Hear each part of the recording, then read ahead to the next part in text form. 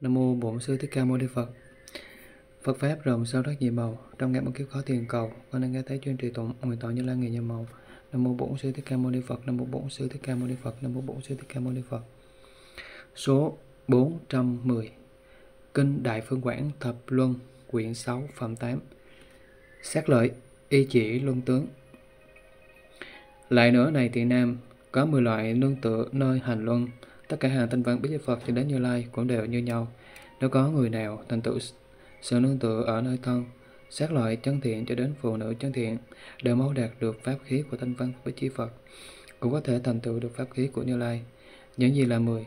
Đó là sát loại chân thiện cho đến phụ nữ chân thiện, thân nghiệp, khẩu nghiệp và ý nghiệp đều thanh tịnh, tu tập giá pháp, có hộ thiện, chán tâm ô ế của mình, sợ năm ấm phát khởi mạnh, thấy rõ sông lớn sinh tử, vượt qua bờ bên kia, ưa thích chỗ thanh vắng, xa lìa nơi ồn náo, không có tranh chấp, tâm không chê trách lỗi lầm của người khác, chế ngự các căn, tâm luôn nghĩ về định, quán xét nhân quả có thể thành tựu được tiền định hoàn hảo. Luôn tu giữ tâm, hiểu rõ lẽ sinh diệt. Như vậy thì có thể thành tựu được 10 loại ý chỉ luôn. Nương tựa nơi luôn. Đó gọi là sắc loại chân thiện, cho đến phụ nữ chân thiện mau chóng thành tựu được thanh văn và bích chi Phật, cũng đạt được đại thừa không tái chuyển. Như vậy này thì nam có thể thành tựu được thừa của thanh văn và bích chi Phật thì nương tựa vào luân này vượt qua các biển cả để hội nhập vào thành niết bàn. Thế nào là nương tựa nơi luân oai nghi? Thế nào gọi là nương tựa? Đã nương tựa vào năm ấm tọa nhận, đó gọi là nương tựa. Đối với năm ấm đã tọa nhận mà có tưởng của mình là chắc chắn đã nương tựa. Thế nào gọi là oai nghi? Nghĩa là có năm ấm và oai nghi và có 18 giới oai nghi nên gọi là oai nghi. Thế nào gọi là luân? Là nhờ vào thần lực này chỉ giành được lời dạy của chư Phật đều gọi là luân và luân kiếm. Như vậy, hàng tinh phân và bích chư Phật đều nương tựa luân này, mong cầu đạo niết bàn. Nếu dấn mắt vào sự nương tựa ấy thì không cánh phát được pháp khí thanh tịnh của Đại Thừa. Thế nào gọi là nương tựa? Nghĩa là nương tựa vào năm ấm, 18 giới, sinh tâm, sợ hãi, nương tựa mà nhàm chán sẽ lìa sự nương tựa đối với thân để mong cầu giải thoát thoát khỏi các khổ đã thọ nhận nắm bấm của mình. Vì mong cầu cho tất cả chúng sinh được giải thoát, do dướng mắt vào sự thọ nhận của mình để không kham nhận được pháp đại thừa. Chỉ vì thân mình mà không vì thân chúng sinh thì không có tâm đại bi, do nghĩa này nên không gánh vác được đại thừa, cứ ở mãi trong sinh tử nên sợ bỏ khổ đau khác nhằm đoạn dứt phiền não của mình mà không thể sợ bỏ đầu mắt tay chân cho nên không gánh vác được pháp khí của đại thừa, cũng không mong cầu luân của đạo đại thừa, cũng không mong cầu luân của phạm âm. Cho nên không gánh vác được pháp khí của đại thừa. Chỉ đơn độc một mình, không có bạn bè, mà hội nhập vào thành niết bàn. Do vậy, nếu có chúng sinh nào không nghe theo từ thanh văn của bích chi phật, các hành không đầy đủ căn lành không có sự thuần tục tinh tấn. Nếu người này trước đã giảng nói pháp thì cả hai đều bị mắc tội cũng là việc quấy nhiễu tất cả chư Phật do ý nghĩa ấy. Nếu có chúng sinh nào đối với thừa thanh văn của bích chi Phật mà không thuần thục, thành tựu đầy đủ các căn lành, nếu đã lãnh hội con đại thừa với diệu, mà người ấy ngu si tự cho là mình có trí thì rơi vào đoạn kiến. Như vậy người này giảng nói là không có nhân quả, không có nghiệp thiện ác, đối với giáo pháp của ta sẽ làm hủy hoại, chẳng phải là pháp mà là nói, mà nói là pháp. Chẳng phải là sa môn mà tự xưng là sa môn, chẳng phải là tỳ kheo mà tự xưng, tự nói là tỳ kheo. Ngăn chặn tất cả thừa thanh văn giảm bích chư phật, khiến không lưu truyền được rộng rãi. Nếu đối với pháp của thanh văn và bích chi phật xuất gia tại giới tỳ kheo tiếp tập tất cả căn, các căn lành, có thể gánh vác vác pháp khí và không gánh vác pháp khí nơi các bậc hữu học và vô học.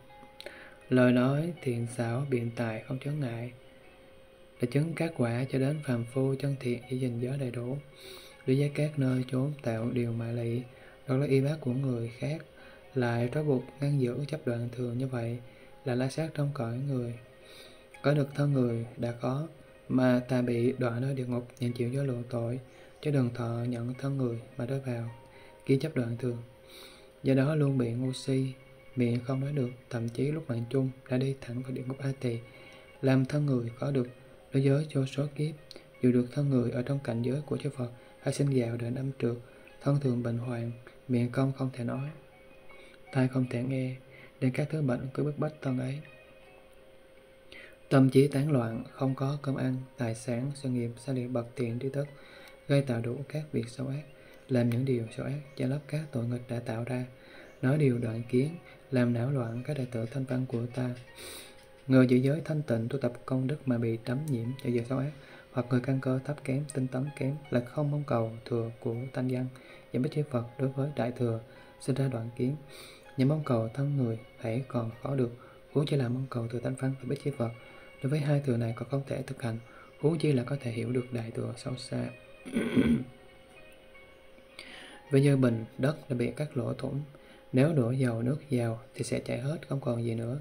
Vì sao? Vì đồ đựng này bị hư, nó có chúng sinh căn cơ không thuần thục, thì cũng như vậy, giống như tướng của bình kia, này thì nam, ví như người mù trước mặt hiện ra có số loại báu. những người không có trí tuệ kiêu mạng buông lung cho đến nghe theo đoạn kiến, nếu chỉ bày và đại thừa rộng lớn cũng như vậy không thể hiểu biết được. Ví như có người thân hình hối hám, tôi đem các loại hương trầm thủy chén đàn, vô số dầu thoa thân cũng có thể làm cho thơm được. Không siêng năng mong cầu từ tánh văn và bích chi Phật cũng như vậy, không đợi dứt nghiệp xấu ác cho đến tà kiến. Nó đem dầu thơm của đại thừa to lên cũng không thể thơm được. Vì như đám ruộng khô, tôi gieo trồng hạt giống tốt, nhưng không bao giờ mọc.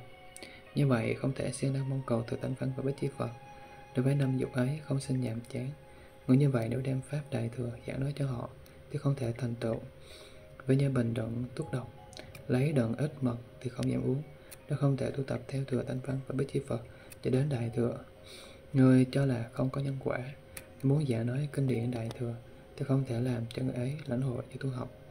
Như vậy không thể tin hiểu thọ dụng, giống như bình thuốc độc đựng một ít mật, không gánh vác được pháp khí của thừa tánh văn, giảm bích chi Phật cũng như vậy. Mà nêm được mùi vị đại thừa, thì nên biết hai điều này không thể có. Cũng như trước mặt người điên, có đàn không hầu, đàn tranh, ống sáo, trống kèn tất các thứ âm nhạc tôi cũng không thể nhận biết không thể siêng năng mong cầu tới thanh văn và bích Phật. Cũng như vậy, có nhiều tham dục giận dữ ngu si, thậm chí đối với thừa thanh văn, căn không thuần thục. Nói dạng nói pháp đại thừa, tất cũng không thể hiểu. Vì như người không mặc áo giáp mà xông vào chiến trận, sau khi đã vào rồi thì chắc chắn sẽ bị vô lượng khổ não, không siêng năng mong cầu thừa thanh văn và bích chi Phật.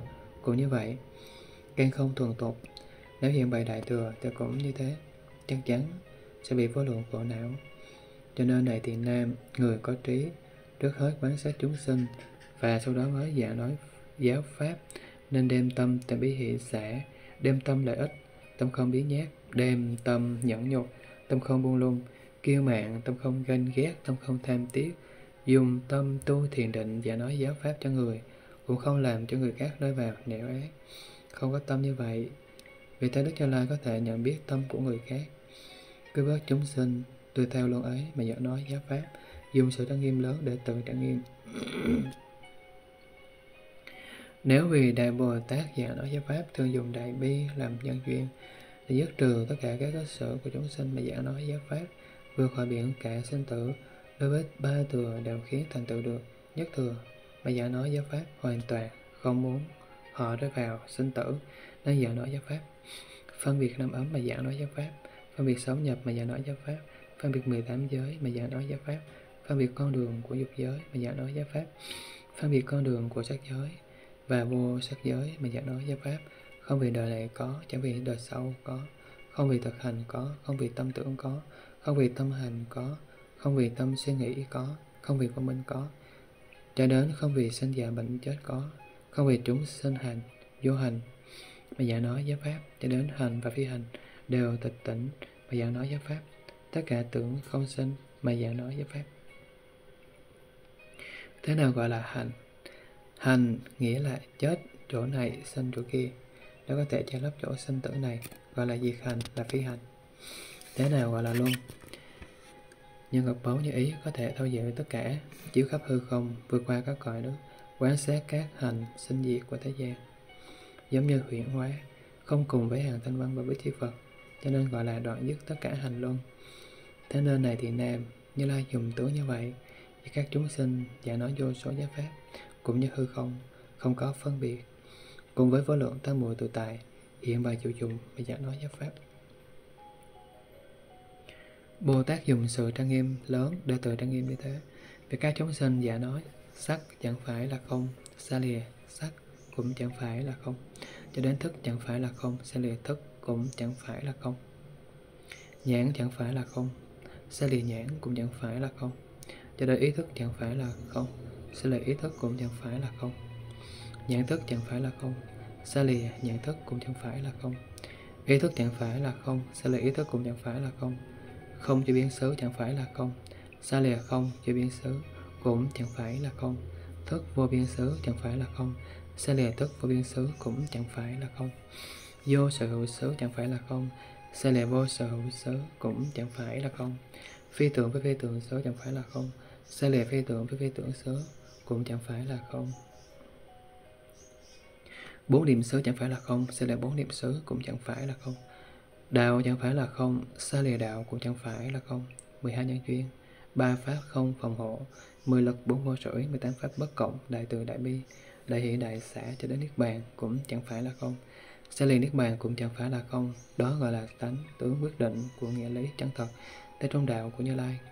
Vì các chúng sinh khác mà phân biệt giả nói các hành không sinh, nắm giữ chánh pháp đầy khắp hư không cho đến vô lượng tiền định tất cả pháp tướng đều như ánh sáng của mặt trời sẽ chiếu rõ ràng làm cho hội nhập vào ba thừa cho đất thiết vàng khiến được giải thoát Đại Bồ Tát giảng nói Pháp như vậy đã làm lợi ích bậc nhất cho chúng sinh. Xét kỳ giải Pháp sâu xa này rồi, thì ý mong muốn ở trong ba thừa, tùy toàn tu tập vô số căn lành, để ăn trộn vào nhất thừa, cũng không khiến tăng trưởng các Pháp bất thiện. Hành ấy kiên cố không tỏa lui nơi Niết Bàn. Đại Bồ Tát vì đoạn dứt vô lượng kiếp khổ sinh tử mà giảng nói giáo pháp vì chúng sinh nương vào hàng thanh văn của Bích chi Phật, làm cho họ vượt qua bốn dòng chảy sinh tử. Đại Bồ Tát vị đoạn dứt bốn dòng chảy sinh tử cho tất cả chúng sinh mà giảng nói giáo pháp. Từ thanh văn và Bích chi Phật chỉ vì đoạn dứt bốn dòng chảy sinh tử của mình mà giảng nói giáo pháp. Đại Bồ Tát vị đoạn dứt bệnh vì nào cho chúng sinh, nên giảng nói giáo pháp. Hàng thanh văn duyên giác về đoạn dứt vì nào của mình nên dạy nói dạ, giáo pháp. Đại Bồ Tát vì đòi dứt sạch mọi nghi phiền não, tập sự của chúng sinh mà dạy nói giáo pháp. Hàng tinh phân duy giác tuy đoạn dứt phiền não, tập hữu chưa rốt ráo, nhưng cũng dạy nói giáo pháp. Đại Bồ Tát vì làm cho các chúng sinh đạt được quả báo của Đại Bi nên giải nói giáo pháp. hai thanh văn duy giác sẽ lìa Đại Bi mà giải nói giáo pháp. Đại Bồ Tát vì thương xót các chúng sinh mà giải nói giáo pháp. Hạ Thanh Phan chuyên giác tuy giải nói giáo pháp nhưng không có tâm tương xót làm lợi ích. Đại Bồ Tát phải diệt trừ các khổ não, độc hại của chúng sinh nên giải nói giáo pháp. Hạ Thanh văn duyên giác chỉ diệt được khổ của mình mà giải nói giáo pháp. Đại Bồ Tát phải làm viên mãn tất cả các pháp vị mà giải nói giáo pháp. Hạ Thanh Văn duyên giác tự làm viên mãn pháp của mình mà giải nói giáo pháp. Đại Bồ Tát vì tất cả chúng sinh được pháp chiếu sáng thành tựu được ánh sáng lớn, nên giải nói giáo pháp. Hà Thanh Văn duyên giác chỉ vì từ chỗ được chỗ chiếu sáng của giáo pháp, không vì chúng sinh và nói pháp tướng.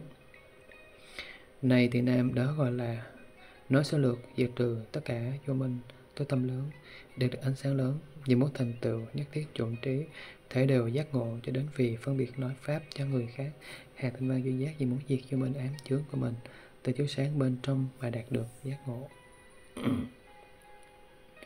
này thì nam hạt tam văn duy giác không vì chúng sinh mà sinh chán ghét điều ác, không vì thương xót mà cố giúp cố giúp độ thoát cho người khác, không phải đối với người khác mà làm cho họ được danh tiếng.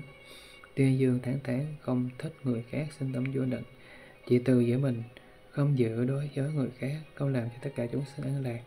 Hạt tam văn duy giác nếu thấy người khác có lỗi lầm vi tế, ta biết chắc phát khởi tội nơi thân khẩu ý và ý nghiệp. Này thì nam để Bồ Tát an trụ vào đại thừa, đều tuân xớt có giúp hết thảy mọi người, thậm chí không thấy lỗi lầm nơi thân khẩu và ý nghiệp của chúng sinh. Này thì nếu có chúng sinh miệng phát ra lời tội ác, ngu si, tự cho là trí tuệ, thậm chí không xa lìa tại kiến do mong cầu lợi dưỡng của người khác mà sinh tâm chán ghét, tham đắm chấp vướng, khen ngợi mình mà khinh chê người khác, không thể giữ gìn thân miệng ý nghiệp, tâm luôn nghĩ ác, không có thương xót. Ưa thích não loạn, chọn lựa ruộng phước, hoặc có người nương theo giáo pháp của tam xuất gia không thấy lỗi mình cho bay mạ lị.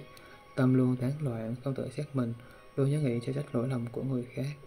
Đối với đại, người đại thừa, tuy sinh nguyện vui vẻ, nhưng tâm không tịch tỉnh tự nhất khởi điều xấu ác, luôn sẽ liền mọi người, tự khen ngợi lời nói của mình đã phát ra. Mình là đại thừa của chỉ dạy người khác đọc tụng, nhằm chỉ tự khen ngợi mình, chẳng cho ba người khác.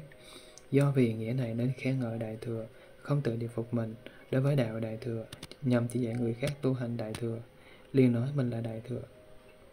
Vì nhân luật sư hành theo điều ác mà chỉ dạy mọi người. Nói với định như thế có đạt được thân người. Cũng bỏ mất thừa thanh văn và bách chi phật luôn hướng đến nẻo xấu ác không gần, muốn gần gũi các bậc trí thức. Vì ca ngợi lời này tạo tiếng gầm của sư tử ta là đại thừa này thiện nam. Tự như da sư tử đắp trên lừa tự cho là sư tử. Có người đứng ở xa nhìn thấy cũng gọi là sư tử. Khi lừa chưa các tiếng kêu thì không thể phân biệt. Khi đã phát ra tiếng rồi, thì dù xa hay gần đều nhận biết được đó chẳng phải là sư tử thật. Những người nhìn thấy đều cho con lừa xấu ác này, chẳng phải là sư tử. Nên những điều ta đại dạng nói cũng đều giống như vậy. Nếu tạo 10 điều ác, thì đốt cháy, vì hết hạt giống của con người chẳng phải là pháp khí của hàng tánh cân và bích chí Phật, nên phá hoại hạt giống ngu si, dối gạt, nói với người khác, ta là đại thừa. Hôm nay thì nên với do người ví như có người không có tay, chân, mà muốn ra chiến trận thì không thể thực hiện được. Người phá giới cũng như vậy mỗi giới đấu cùng với các sự phiền não. Ta nói người này hoàn toàn không có quả báo. Người hủy phạm giới cấm, làm việc ác ở bất cứ nơi nào cũng không nên, cũng không thành tựu được pháp khí. Nếu tự nói ta là đại thừa, có thể phát được nơi trận chiến lớn là phiền não của tất cả chúng sinh. Cô làm cho chúng sinh ăn rượu vào tám con đường chân chánh hội nhập vào thành vô ý là điều không thể có. Vì sao? Vì nếu có chúng sinh hoài nghi, thanh tịnh, hổ thề, biết đủ, lo sợ đời sau, sẽ lìa tất cả các pháp bất thiện, ở tất tất cả các công đức thiện đối với chúng sinh luôn khởi tâm đại bi cũng có thể cứu vớt tất cả khổ não nguy khổ, có giúp các sự sợ hãi đến sinh tử của chúng sinh không vướng vào sự vui vẻ của mình và sự vui vẻ của người khác. Thường xuyên năng tinh tấn duy nhớ nghĩ không xả bỏ. Tâm ưa thích thiền định dứt trừ sự dối định tà hoặc lố dối nhận biết được nghiệp và quả báo của nghiệp một cách hoàn hảo không đắm nơi năm dục. Tám pháp của thế gian đều không nhiễm vướng. Ưa thích quán sát năm ấm. 18 giới. Như cứu lửa đang cháy trên đầu, như cứu lửa đang cháy y phục ăn trộn vào hạt giống của thanh văn có tướng như vậy thì gọi là thừa thanh văn đối với đại thừa đã không khâm nhận gánh vác. Thì biết chi phật là có tướng gì? Nếu người này đầy đủ tám pháp cam lồ thường vị thì có thể luôn quan sát sự sợ nhận các tướng của năm ấm sinh diệt. Quán rõ các pháp đều do nhân duyên sinh. Cũng nhận biết là tướng diệt người như vậy thì không thể gánh vác được đại thừa không thể thành tựu được pháp khí của đại thừa. Bây giờ Đức Như Lai nhằm lặp lại ý nghĩa này, nó nói kệ, sát loại luôn 10 loại, bà la môn, thủ đà, nếu tu hạnh chân thiện ánh pháp khí thanh văn. Và thừa bích chi Phật, ba nghiệp đều, thanh tịnh chấn ngự nơi các căn, nói ra lời hòa nhã quan sát rõ các ấm, giới, nhập cũng như vậy. Ở thích nơi thanh vắng, trí tệ quán nhân duyên luôn thâu giữa các căn, nương tựa mười luôn ấy. Các quả không hủy hoại là cánh pháp pháp khí, nghĩ vượt qua biện hữu. Thực hành theo ba luân, không lương theo cách xử, gần pháp môn giải thoát, không trụ pháp đại thừa, không đủ luân lớn vượt. Chẳng xuyên cầu đại thừa, những người căn thấp kém. Nếu có người ngu si đủ âm tâm biến nhát là chẳng phải đại thừa, có cảm nhận pháp lớn. Một mình cầu giải thoát sẽ nịnh không thương xót, thường hành theo đoạn kiến người ấy đến đường ác sẽ bỏ hết chánh pháp mà giả nói phi pháp? Đoàn ngăn đạo ba thừa, bỏ giới ái dục thủ. Bỏ giới ái dục đủ, não hại pháp hiền thánh, vì ném áo ca sa che bai và phỉ bán, tự hủy hoại thân mình. Vì muốn sửa thân người, không bịt miệng mà chết thường gặp được chư Phật hiển bày pháp ba thừa. Muốn hơn thành ba thừa giữa cùng người phân biệt, hoan hỷ mà hiển bày tất thành Phật công y phá giới mà cảnh ghét, khen mình cho người khác. Bậc trí đạt xả bỏ, đạt Phật bác cờ quý, tiếp pháp theo tâm bi, thuận theo tâm ưa thích, nên bày đủ ba thừa, tất thành Phật không nghi, tiếp pháp như hư không, tâm đều không chủ nương, âm giới nhập đều không, không nghi sẽ thành Phật, không ác ưa phá giới, nếu nghe khen đại thừa, giới xưng là Bồ Tát, lừa đội lớp sư tử. Ta nói cho đại chúng muốn cho đắc bồ tát để dành mười điều thiện chớ hủy hoại pháp ta. Ta nói nơi kinh khác thành bồ đề đệ nhất để thanh văn chuyển giác và chúng sinh thanh tịnh từng cúng dường ức phật diệt tâm ác giải thoát. Ta đã nghe điều ấy không chỉ một thừa, không hai. Nói cho chúng ba thừa, có người trụ thanh văn, tâm tạo nhiều phiền não, không gánh phát pháp khí, đã trụ vào chuyên giác ngũ tối nơi tán pháp không gánh pháp gánh pháp đại thừa.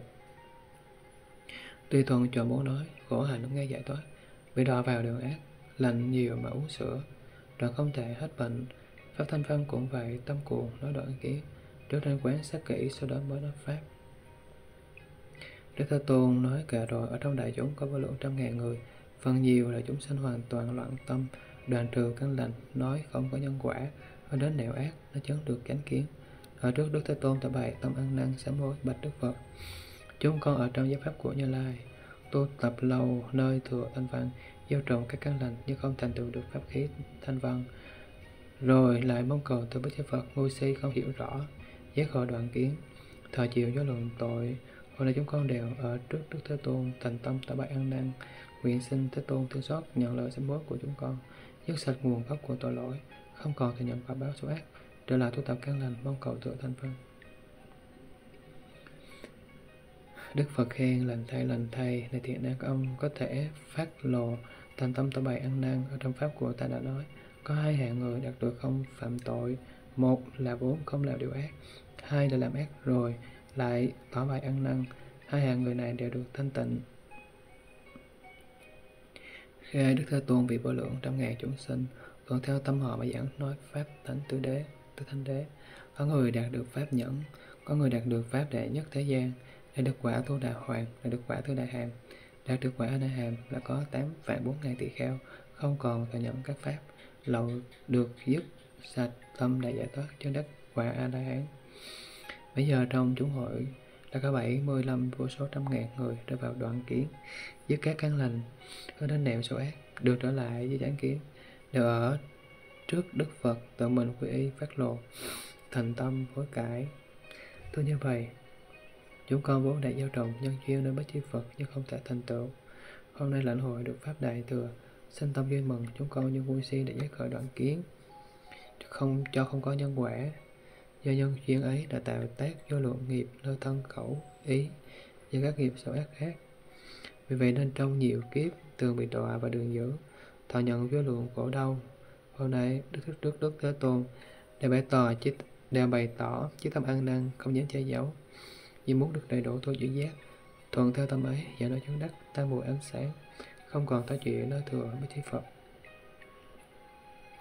Lúc này trong chúng hội còn lại có 80 để cho ta trăm ngàn chúng sinh. Lưỡi không thể nói. Do trong quá khứ đã phỉ bán, vô lượng hàng hạ xa chư Phật giả nói chánh pháp. Cho đến phỉ bán chỉ một câu hoặc một bài kệ. Do nghiệp tạo tội lỗi ấy nên không thể tỏ bài ăn năn. Nhờ thần lực của Đức Phật khiến hôm nay đều có thể nói được. Đức Thế Tôn nhận biết như vậy nên hỏi, đời trước các ông đã tạo nghiệp ác gì? Để ở trong chúng hội này miệng không thể nói được. Đáp, chúng con đã ở trong giáo pháp của Đức Phật tỳ bà thi nơi quá khứ phi bán đại thừa, hoặc có lúc phi bán thừa thanh văn, hoặc còn phi bán thừa bích thế Phật, cho nhân duyên nơi tội báo của các nghiệp như ấy. Nên ở trong 91 kiếp, bị đọa vào sinh tử, luôn ở nơi địa ngục, cùng tội thân ngạ quỷ, vì không thể nói nhận diệu khổ não lớn từ xưa đến nay là được thân người, là nhờ thần lực của Phật. Hiện giờ nói được đều nhờ thần lực của Phật, nên đạt được trí tốt mạng, có thể nhận biết được tất cả nhân duyên của nghiệp ác đã tạo ở quá khứ. Có người nói ở chỗ Đức Phật, thi khí, Đức Phật tùy diệp, Đức Phật câu lưu tôn, Đức Phật câu nại hàm mâu ni, Đức Phật ca diếp phỉ bán chánh pháp cho đến phỉ, cho đến chỉ một câu hay một bài kệ. Đây như thần lực của Phật nó nhận biết tất cả nghiệp chướng sự ác đã gây tạo ở quá khứ thì đều rõ ràng. Bây giờ trong chúng hội có cho lượng trăm ngàn tăng dân, cho lượng trăm ngàn đại bồ tát từ nơi tòa ngồi đứng dậy đến trước đức phật tỏ bài ăn năn. Chúng con đều ở trong vô lượng giáo pháp của chư phật nơi quá khứ, gánh vác hoặc gánh vác pháp khí. Và không gánh vác pháp khí các chúng thanh văn phần nhiều sinh khởi, quả trách tuổi cha bay, khinh thường, phỉ bán tăng thêm điều ác. Ngăn chặn điều thiện, do nghiệp chướng này nên bị đọa vào ba đường ác, chịu đủ mọi sự thống khổ. Tôi đã cúng dường cho Phật quá khứ và chúng đại Bồ Tát, thậm chí đã bày hối cải, thọ dưỡng giới cấm, lãnh hội được pháp Phật.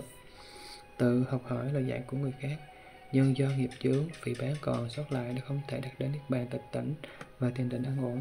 Vì nhân duyên tội lỗi như vậy họ lại hướng về đức thế tôn tự quy y phát lộ thành tâm sám hối là nói như vậy cho con đối với các đệ tử thanh văn của Như Lai chiếm đoạt tài sản, sang nghiệp và các thức ăn uống hoặc giam nhốt vào lao ngục nhân nghiệp này nên bị đọa vào trong ba đường ác chịu khổ não lớn. Chúng con từ ở trước chư Phật Thế Tôn và Đại Bồ Tát nơi quá khứ, ta bài ăn năn, ta giữ độc tụng cho số giới cấm. Song do nhân duyên của nghiệp chướng còn sót lại, đã không thể đạt được niết bàn vắng lặng và thiên định an lạc. Hôm nay ở trước Đức Thế Tôn, an năng bày tỏ tất cả nghiệp còn lại, về cho lượng tội chướng Nguyện xin Thế Tôn nhận lời sám hối của chúng con, chưa được tất cả khổ não đã ba được ác. Từ nay về sau, nguyện được thần lực của Phật gia hộ.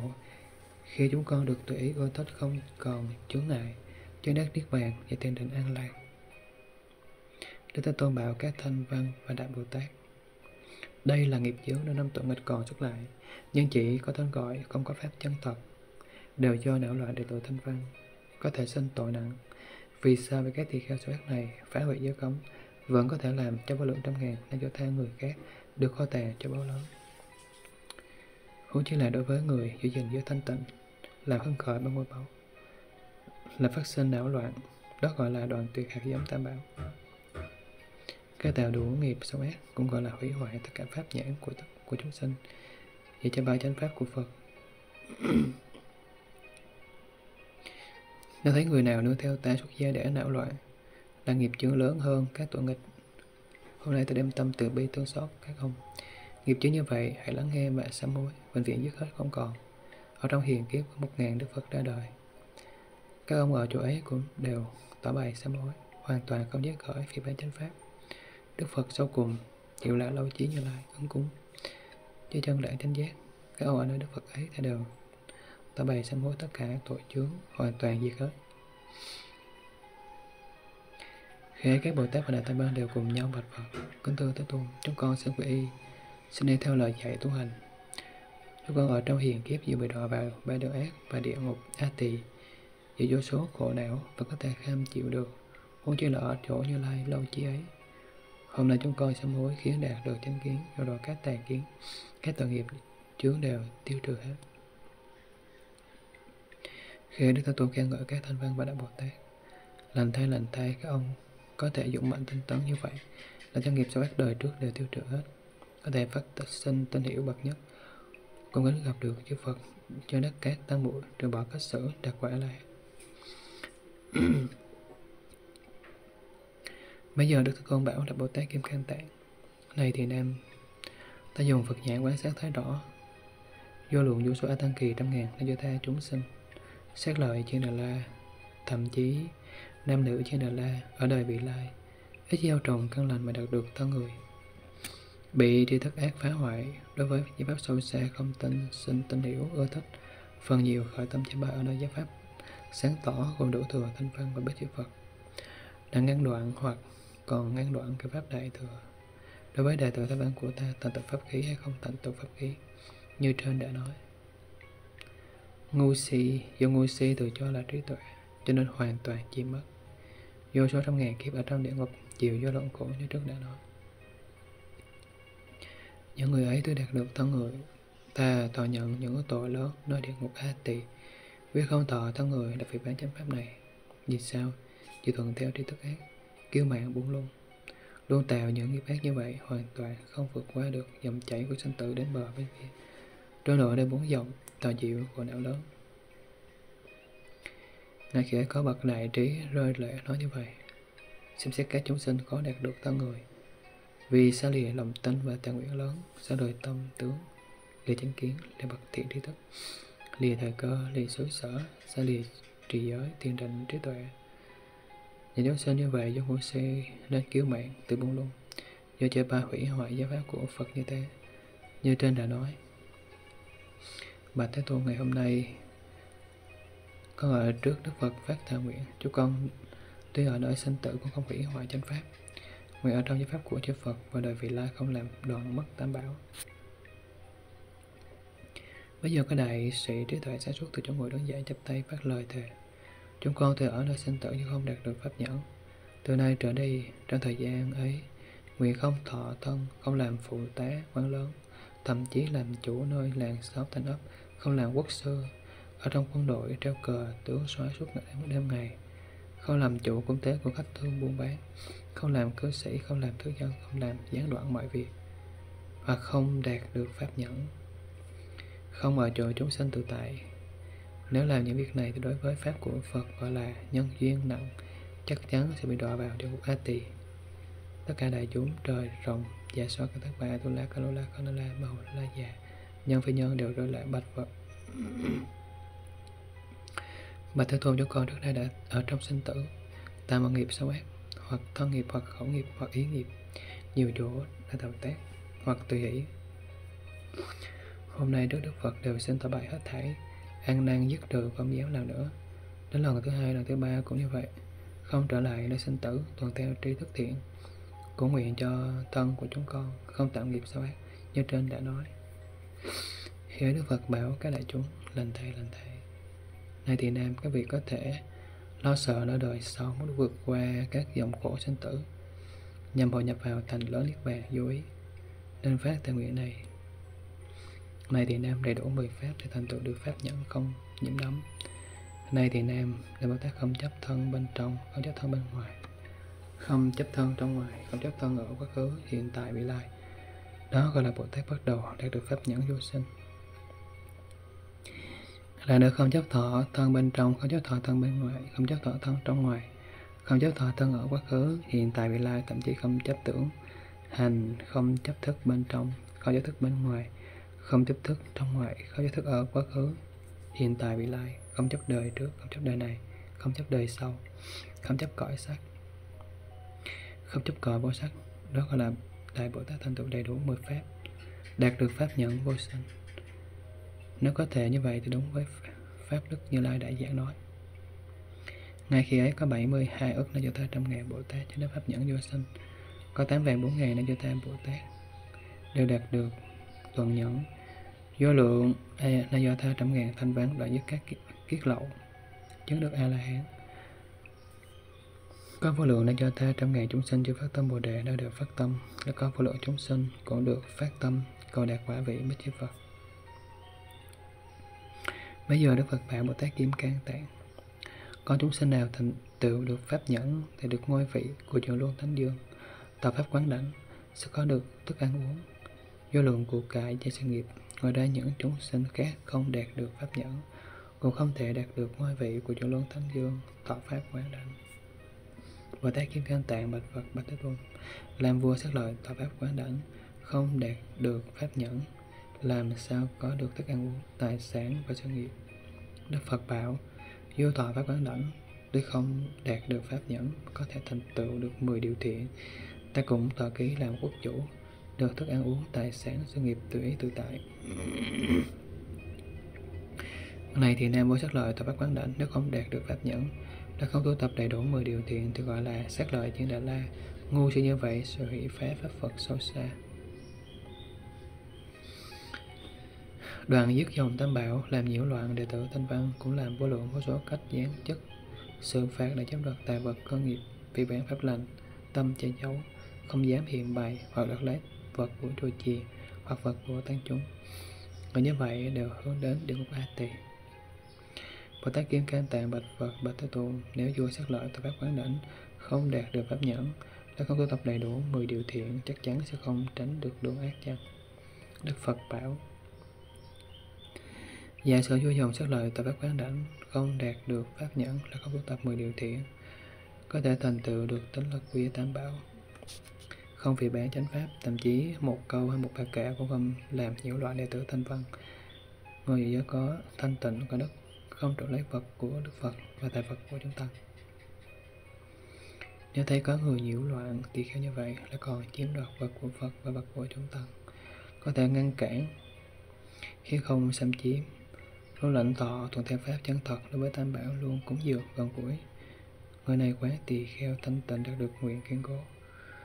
Nếu với tâm đại thừa, không nghi ngờ, cũng có thể thành tựu được đại thừa ở chúng sanh cũng lập vững lòng tin chánh pháp nơi đại thừa. Vua sắc lợi tòa phát quán đại như vậy, đời trước đã ở chỗ các đức Như Lai, ở nơi thành ấp đấy, được nhiều của cải. Tôi còn biết không thể đối vào điều ác.